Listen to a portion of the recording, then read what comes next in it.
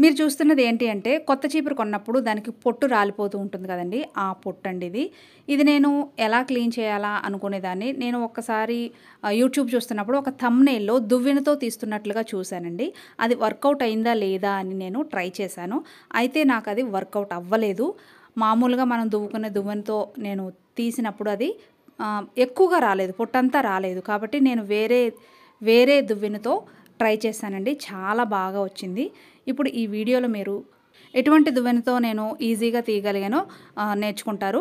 చూసారు కదా ఇది మామూలు దువ్వెనతో నేను వీడియోలో చూసినట్లుగా ఇలా తీస్తూ ఉన్నానండి. కాకపోతే అంతగా రాలేదు. మీకు ఫాస్ట్ మోడ్ పెట్టి చూపిస్తున్నాను. చాలా స్లోగా చాలాసేపు నేను ఈ విధంగా దువ్వినట్లుగా తీసి చూశాను. కాకపోతే కొంచెం పొట్టు మాత్రమే రాలింది. ఇప్పుడు మీరు చూస్తున్న దువ్విన వేరే రకమైందండి. ఇది జెంట్స్ పాకెట్లో పెట్టుకునే దువ్విన టైపు. ఈ దువ్వెనతో నేను క్లీన్ చేసి చూశానండి. చాలా సులభంగా అయిపోయింది. తక్కువ సమయంలో ఎక్కువ పొట్టు వచ్చేసింది. అలాగే ఆ చీపురికి ఉన్న పొట్టు మొత్తం వచ్చేసిందండి.